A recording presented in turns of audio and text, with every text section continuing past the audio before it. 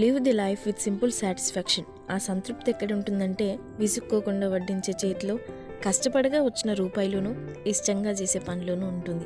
కదా? ప్రతివారు అంతో ఇంతో ఏదో ఒక పనిలో కాస్తో కోస్తో సంతృప్తిని వెతుకుతూ ఉంటారు. సో మై టైప్ ఆఫ్ సంతృప్తి ఎలా ఉంటుందంటే మార్నింగ్ ప్రశాంతంగా ఉదయాన్నే లేవగానే వేడి వేడి టీ తాగుతున్నప్పుడు అదో సంతృప్తి మనసుకి.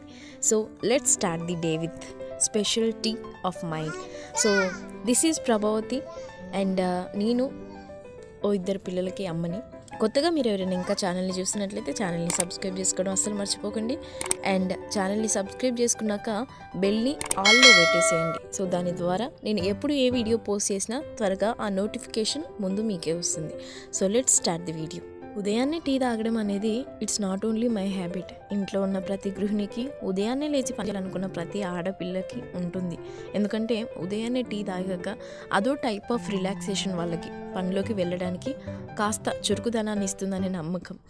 అవునా కదా? మీలో ఎంతమంది నాతో అవునని చెప్తారు? సో ఆల్మోస్ట్ ఎక్కువ మందే ఉంటారు. అండ్ ఇక మన విషయం కనుక కంప్లీట్ అయిందంటే మార్నింగ్ పిల్లలకి డ్రింక్ ఏదైనా ఇవ్వాలి అని అనుకుంటే నేను హార్లిక్స్ పాలలో కాస్త పసుపు కలిపి ఇస్తాను సో ఇది రెగ్యులర్గా కాకపోయినా డే బై డే పిల్లలకి తప్పకుండా ఇవ్వాలి. ఎందుకంటే పసుపు కలిపిన పాలు పిల్లలకి లోపల నుండి శక్తిని అందించడమే కాకుండా అది ఇమ్యూన్ సిస్టమ్ని ఎక్కువగా బూస్ట్ చేస్తుంది అనమాట అంటే రోగనిరోధక శక్తిని ఎక్కువగా పెంచుతుంది. దానివల్ల పిల్లలకి వచ్చే నార్మల్గా జలుబు జ్వరం ఫీవర్ అవి లాంటివి ఎక్కువగా సీజనల్గా వచ్చే ప్రాబ్లమ్స్ అనేవి ఎక్కువగా ఎఫెక్ట్ చేయవు అనమాట అండ్ మెమొరీ లెవెల్స్ను కూడా ఎక్కువ బూస్టప్ చేస్తుంది. సో రెగ్యులర్గా తాగకపోయినా డే బై డేను లేదంటే వీక్లీ ట్వైస్ అయినా ఇవ్వడానికి ప్రయత్నించండి. నా పిల్లలు కూడా అందరి పిల్లలాగానే కాస్త మారం చేస్తారు కాబట్టి వారు చూడినప్పుడు హార్లిక్స్తో పాటు కలిపి అది ఇచ్చేస్తూ ఉంటాను. సో వాళ్ళు ఎక్కువగా గుర్తుపట్టకుండా ఉంటారు అనమాట ఇక coming to the morning breakfast. Morning breakfast అంటే కాస్త ఎప్పుడూ బోరింగ్గా రొటీన్గా ఉండదు. సో మార్నింగ్ చేసేది నేను ఇడ్లీయే but I want to make it something different so అందుకని తురుముకున్న క్యారెట్ అందులో వేశాను. అండ్ uh, క్యారెట్ అది డిఫరెంట్ ఫ్లేవర్ ఇవ్వడమే కాకుండా తినేటప్పుడు టేస్ట్ అండ్ తిన్నాక హెల్తీగా కూడా ఉంటారు. పిల్లలైనా పెద్దవాళ్ళైనా. అండ్ um, ఇది మీకు కనుక ఇడ్లీ uh, పర్ఫెక్ట్ కొలతలతో కావాలంటే అది కూడా నేను వీడియోలో ఎండప్లో చెప్తూ వెళ్తుంటాను. మీరు నోట్ అవుట్ చేసుకోండి. సో నేను ఇక్కడ uh, ఒక కప్పు మినుములకి రెండున్నర కప్పుల ఇడ్లీ రవ్వ తీసుకున్నాను. సో మీరు అలాగే తీసుకోండి. ఒకవేళ మీరు చేసిన ఇడ్లీ కాస్త గట్టిగా వచ్చాయంటే మినుములు తక్కువ అయ్యాయని మరీ మెత్తగా వచ్చాయంటే మినుములు మీరు రవ్వ తక్కువైందని అర్థం. సో అందుకని పర్ఫెక్ట్ క్వాంటిటీకి రెండున్నర కప్పుల ఇడ్లీ రవ్వకి ఓ కప్పు మినుములు పర్ఫెక్ట్గా సరిపోతాయి. చక్కగా చన్నీళ్ళతో మిక్సీలో వేసి రుబ్బుకోండి గ్రైండర్లో అయితే నార్మల్ వాటర్తో రుబ్బుకోవచ్చు. పిండి ఎక్కువగా రుబ్బుకుంటే అంత ఫ్లఫీగా సాఫ్ట్ ఇడ్లీ వస్తాయని గుర్తుంచుకోండి. ఇక్కడ ఇంకాస్త మన పనిని కాస్త సులువు చేయడం కోసం నేను ముందుగానే వేయించి పెట్టుకున్న పల్లీలని ఓ డబ్బాలో వేసి పెట్టుకుంటానమాట దానివల్ల చట్నీ అనేది త్వరగా రెడీ అయిపోతుంది. సో మార్నింగ్ చట్నీ చేసే టైప్ ఆయిల్లో కాస్త పచ్చిమిర్చి అండ్ అలాగే శనగపప్పు అండ్ మినుములు కాస్త వేసుకొని లైట్గా వేయించి వాటన్నిటిని చల్లార్చి ఇప్పుడు ఓ మిక్సీ జార్లోకి వేసుకుంటున్నాను. అండ్ మీకు కనుక కావాల్సి వస్తే ఇక్కడే కాస్త పచ్చి కొబ్బరిని కానీ లేదంటే వేయించిన శనగపప్పును కానీ వేసుకోవచ్చు. ఇప్పుడు ఇందులోకి నాలుగైదు వెల్లుల్లి రెమ్మలు రెండించుల అల్లం ముక్క అండ్ అలాగే కొద్దిగా చింతపండు ఓ టీ స్పూన్ ఉప్పును వేసుకొని చక్కగా మిక్సీ పట్టుకోండి. ఈలోపు దాని తాలింపు కోసం వన్ టీ స్పూన్ ఆఫ్ ఆయిల్లో కాస్త ఎండుమిర్చి అండ్ అలాగే పోపు దినుసులు అంటే జీలకర్ర ఆవాలు శనగపప్పు మినపప్పు. అండ్ అలాగే రెండు రెమ్మల కరివేపాకు వేసుకుని లైట్గా వేగాక చట్నీలో కలిపేసేయండి. And our tasty chutney is ready. Morning మనం తీసుకునే బ్రేక్ఫాస్ట్ కాస్త వెరైటీగా ఉంటే తినాలన్న ఆతృత ఇంట్లో వాళ్ళకి మనకు ఉంటాయి. సో చూడండి ఇక్కడ moist and fluffy idli ready అయిపోయినట్టే. చేతికి తడి అంటకుండా వచ్చింది అని అంటే ఇడ్లీ మనకు పర్ఫెక్ట్గా రెడీ అయింది అని అర్థం. అండ్ అలాగే ఇడ్లీ చక్కగా మీరు ఆవిరి మీద పెట్టుకునేటప్పుడు ఇడ్లీ కింద ఉండే వాటర్ మరి ఇడ్లీ మౌల్డ్స్కి తగలకుండా చూసుకోవాలి. లేదంటే ఇడ్లీ రవ్వతో కలిసి పొంగిపోతుంది చూడండి సాఫ్ట్గా మాయిస్ట్గా బ్యూటిఫుల్గా టెంప్టింగ్గా ఉన్నాయి కదా.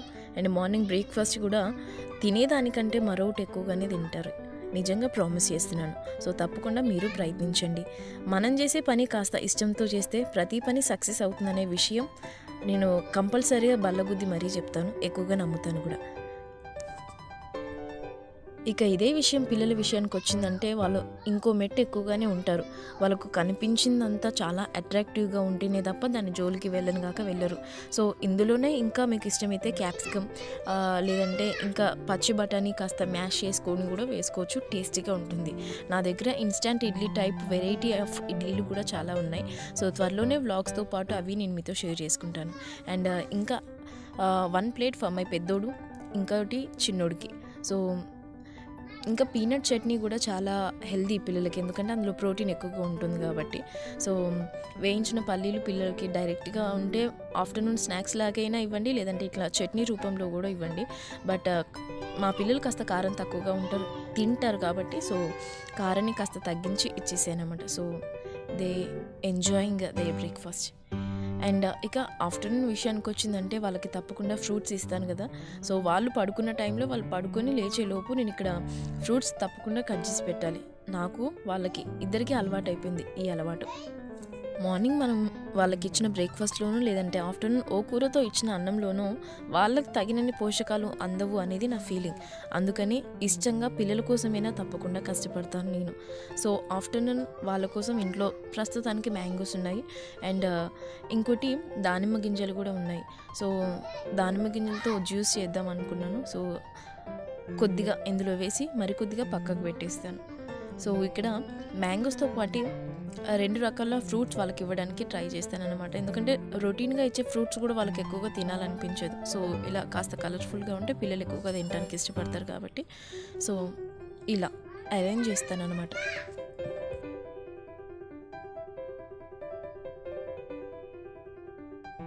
ఇలా పిల్లలు కనుక ఓసారి ఫ్రూట్స్కి అలవాటు పడ్డారంటే బయట చిరుతిళ్ళు తినడానికి కానీ బిస్కెట్స్ చాక్లెట్స్ ఇంకా బయట ఉండే రా ఫుడ్స్ ఎక్కువగా తినడానికి ఇష్టపడరు.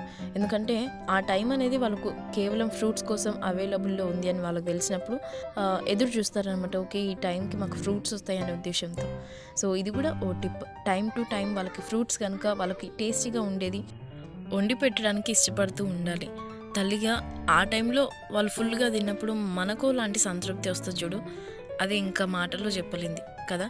సో ఇంకోటి ఏంటంటే ఇంట్లో బీట్రూట్స్ ఎక్కువగా మిగిలిపోయాయి నాకు. సో ఒకటి నేను ఆల్రెడీ బీట్రూట్ క్యారెట్ ఫ్రై చూపించాను. అది పిల్లల కోసమైనా పెద్దవాళ్ళ కోసమైనా బాగుంటుంది. అండ్ ఇంకోటి వచ్చేసి బీట్రూట్ క్యారెట్ జ్యూస్. బట్ ఇది నార్మల్గా కంటే పిల్లలు కూడా చక్కగా తాగుతారు. అంత పచ్చి వాసన లేదంటే కాస్త బీట్రూట్ అంటే కాస్త వెగటుగా ఉంటుందిగా. అలా ఏమీ ఉండదు అనమాట చాలా బాగుంటుంది. ఓసారి తప్పకుండా మీరు ట్రై చేయండి. అండ్ ఎస్పెషల్లీ ప్రెగ్నెంట్ లేడీస్కి హిమోగ్లోబిన్ లెవెల్స్ తక్కువగా ఉంటాయి కదా రక్తం తక్కువగా ఉన్న వాళ్ళకి చాలా యూస్ఫుల్గా ఉంటుంది. అండ్ తప్పకుండా మీరు ట్రై చేయండి. ఇక్కడ ఏం చేశానంటే నేను బీట్రూట్ ఓ బీట్రూట్ ఓ క్యారెట్ అందులోనే కాస్త దానిమ్మ గింజలు రెండు ఇలాచీలు మూడు టేబుల్ స్పూన్ల చక్కెర అండ్ నాలుగు ఐదు ఐస్ క్యూబ్స్ కొద్దిగా వాటర్ వేసుకొని ఫస్ట్ గ్రైండ్ చేసుకునేటప్పుడు కాస్తిని వాటర్ వేయాలి. లేదంటే అది పల్ప్ అనేది సరిగ్గా బ్లెండ్ అవ్వదన్నమాట. సో అది పూర్తిగా బ్లెండ్ అయ్యాక ఇప్పుడు ఓ రెండు గ్లాసుల మందం వాటర్ వేసుకొని చక్కగా స్మూత్గా బ్లెండ్ చేసుకోవాలి. నేను ప్రెగ్నెంట్తో ఉన్నప్పుడు ఎక్కువగా మా మమ్మీ తీస్తూ ఉండేది. బట్ కొన్నిసార్లు మా మమ్మీలో కాస్త రాక్షస లక్షణాలు కనిపించేవి అనమాట ఎందుకంటే తను బలవంతంగా పిప్పితో సహా తాగమనేసేది నన్ను. సో బట్ నేను ఓ గ్లాస్ కంటే ఎక్కువగా తాగకపోయేదని బట్ పిల్లలు కూడా ఎక్కువగా పిప్పితో తినాలంటే కొంచెం కష్టం. వాళ్ళకి కాస్త గొంతుకు ఏదో అడ్డం తగిలినట్టుగా ఉంటుంది అనమాట సో ఇలా ట్రై చేసి చూడండి. చాలా బాగుంటుంది టేస్టీగా ఉంటుంది. పిల్లలు కూడా తాగుతారు. అండ్ కొన్నిసార్లు వాళ్ళు ఇలాంటి జ్యూస్లు రా జ్యూస్లు మనం పిల్లలకి ఇచ్చినప్పుడు ఏం చేయాలంటే వాళ్ళని మనం కొంచెం మోటివేట్ చేయాలి. ఎలా ఉంటుందంటే ఈ జ్యూస్ మనకు డైరెక్ట్ ఒకేసారి తాగినప్పుడు ఏ ఫీలింగ్ అనిపించదు. బట్ సిప్ చేసుకుంటూ తాగుతాం కదా కాస్త వెగుటుగా లైట్గా చేదుగా అనిపిస్తూ ఉంటుంది అనమాట బట్ డైరెక్ట్గా మీరు కాస్త ఐస్ క్యూబ్స్ వేసి ఇవ్వండి. ఎందుకంటే చల్లదనానికి ఎక్కువ టేస్ట్ తెలియదు కదా. సో పిల్లలు ఈజీగా తాగిస్తారనమాట వాళ్ళని అలా మోటివేట్ చేస్తూ ఉండాలి మనం. Yes you can do it చక్కగా తాగలనైనా బాగుంటుంది అని చెప్పాలి. సో సిప్ చేసి సిప్ చేసుకుంటూ కొంచెం కొంచెం గుటుకలు వేసుకుంటూ తాగితే వాళ్ళకి ఏమవుతుందంటే ఆ ఫ్లేవర్ అనేది తెలుస్తుంది. కాస్త చేదుగా ఉంది కాస్త పచ్చిగా ఉందనేది తెలుస్తుంది అనమాట సో దాంతో వాళ్ళు ఏం చేస్తారంటే తాగడం మానేస్తారు. అందుకనే వాళ్ళకు డైరెక్ట్గా ఈ విషయం మనకు తెలిసినప్పుడు ఆ విషయం వాళ్ళకి తెలియనివ్వకూడదు అనమాట అందుకనే డైరెక్ట్గా తాగేసేయాలి నాన్న నువ్వు. నేను ఇక్కడ బబ్లుతో నేను అదే చెప్తా ఉన్నాను అనమాట నేను టెన్ కౌంట్ చేస్తాను నువ్వు డైరెక్ట్గా తాగితే నువ్వు గుడ్ బాయ్వి. తమ్ముడు మంచోడు కాదు తమ్ముడు సరిగ్గా తాగడు కదా నువ్వే గుడ్ బాయ్వే. మీ క్లాస్లో నువ్వే మంచోడు వాట మీ టీచర్ చెప్పిందని ఇలా కొంచెం చెప్తా ఉన్నాను. సో దానివల్ల మొత్తం పూర్తిగా అయితే తాగేసాడు వాడు. సో పిల్లల్ని ఒప్పించడానికి కొన్ని కొన్నిసార్లు భయపెట్టడం బతిమాలడం రెండూ జరుగుతూ ఉంటాయి. సో టైంని బట్టి మనం ఏది ఎంచుకోవాలో మనకు తెలిసి ఉండాలి. అండ్ లంచ్ విషయానికి వస్తే ఇక్కడ నార్మల్గా కాకుండా కాస్త డిఫరెంట్గా క్యాబేజ్ ఎగ్ కర్రీ. చేస్తున్నాను. అండ్ ఇంకోటి ఏంటంటే చాలామందికి రెసిపీ గురించి తెలియదు బట్ చాలా బాగుంటుంది. తప్పకుండా మీరు ట్రై చేసి తీరాలి. సో ఫస్ట్ ఏం చేయాలంటే ఇక్కడ ఆయిల్ కాస్త వేడయ్యాక అందులోకి ఎండుమిర్చి అండ్ ఆవాలు జీలకర్ర కాస్త పోపు దినుసులు ఉంటాయి కదా అవి అండ్ అలాగే కరివేపాకు సన్నగా చాప్ చేసుకున్న పచ్చిమిర్చి అండ్ అలాగే కాస్త మెంతుకూర ఉల్లిపాయ ముక్కలు వేసుకొని కాస్త వేగాక ఇప్పుడు ఇందులో క్యాబేజ్ని వేసుకోవాలి. సన్నగా చాప్ చేసుకొని కడిగి క్లీన్గా అందులో వేసుకొని ఇందులో ఓ టీ స్పూన్ పసుపు అండ్ అలాగే ఓ టీ స్పూన్ ఉప్పును వేసుకొని అందులో ఉన్న వాటర్ బాగా పైకి వచ్చి అవి ఇంకిపోయేంత వరకు చక్కగా మూత పెట్టి మధ్య మధ్యలో కలుపుతూ చక్కగా క్యాబేజ్ అంతా వేయించుకోవాలన్నమాట. ఇలా క్యాబేజ్ కాస్త వేగాక దాని వాల్యూమ్ అనేది తగ్గిపోతుంది అనమాట మనం వేసినప్పుడు ఎంత ఉంటుందో అంత ఉండదు కాస్త దగ్గర పడుతుంది. ఇప్పుడు ఇందులోకి మనం సన్నగా చాప్ చేసుకున్న టమాటో ముక్కల్ని అండ్ అలాగే one and half teaspoon కారం వేసుకోవాలి. పండు టమాటో ముక్కలు అయితే తొందరగా మగ్గుతాయి అనమాట సో అక్కడ మీ ఇష్టానికి తగినట్టు వేసుకోవచ్చు కారం. సో వేసుకొని టమాటా కాస్త దగ్గర పడేంత వరకు చక్కగా వేయిస్తూ ఉండాలి. అవి కాస్త వేయించుకున్నాక ఇప్పుడు ఇందులోకి ఓ మూడు ఎగ్స్ని బ్రేక్ చేసుకుంటున్నాను నేను ఇక్కడ. సో మీకు కనుక ఇంకా ఎగ్స్ ఎక్కువగా ఎగ్ ఫ్లేవర్ ఇంకా ఎక్కువ కావాలి అని అనుకుంటే ఇంకోటి ఎగ్ ఎగ్ యాడ్ చేసుకోవచ్చు అనమాట సో ఇక్కడైతే నేను త్రీ తీసుకున్నాను. అవి వేసుకొని చక్కగా కాస్త లైట్గా ఆమ్లెట్లా రెడీ అయ్యాక దాన్ని చక్కగా కలిపి అప్పుడు ఇందులోకి సన్నగా చాప్ చేసుకున్న వెల్లుల్లి ముక్కలైనా లేదంటే దంచి పెట్టుకున్న వెల్లుల్లి ఉంటుంది కదా ఫ్రెష్గా అదైనా వేసుకొని ఇందులో ఓ టీ స్పూన్ మిరియాల పొడి ధనియాల పొడి అండ్ అలాగే ఓ టీ స్పూన్ గరం మసాలా వేసుకోవాలి. ఆ క్లిప్ నా దగ్గర మిస్ అయింది సో అందుకని యాడ్ చేయలేదు. సో ఈ మూడింటిని వేసుకొని ఫైనల్గా కొత్తిమీర వేసుకొని మంటని సిమ్లోకి అడ్జస్ట్ చేసుకొని చక్కగా కలుపుకొని ఫైనల్గా సాల్ట్ అడ్జస్ట్ చేసుకోవాలి. కర్రీ టేస్ట్ చాలా బాగుంటుంది. ఇక్కడ ఈవినింగ్ కోసం బబ్లూకి నేను ఎగ్స్ బాయిల్ చేస్తున్నాను. సారీ చిన్నోడికి. సో బబ్లు ఎగ్స్ తినడు. అండ్ um, ఈ కర్రీ చక్కగా వేడి వేడి అన్నంలో వేసుకుని తింటే ఎంత బాగుంటుందంటే చెప్పలేను. ఇట్స్ రియలీ సూపర్ తప్పకుండా ట్రై చేయండి. ఇక్కడితో ఈ వ్లాగ్ నేను ముగిస్తున్నాను. ఇంకా మంచి వీడియోస్ మీ ముందుకు వచ్చేస్తాయి. Until then this is Prabhavathi thank you so much for watching this video ఛానల్ని సబ్స్క్రైబ్ చేసుకొని లైక్ చేసి షేర్ చేయడం అస్సలు మర్చిపోకండి. And check the description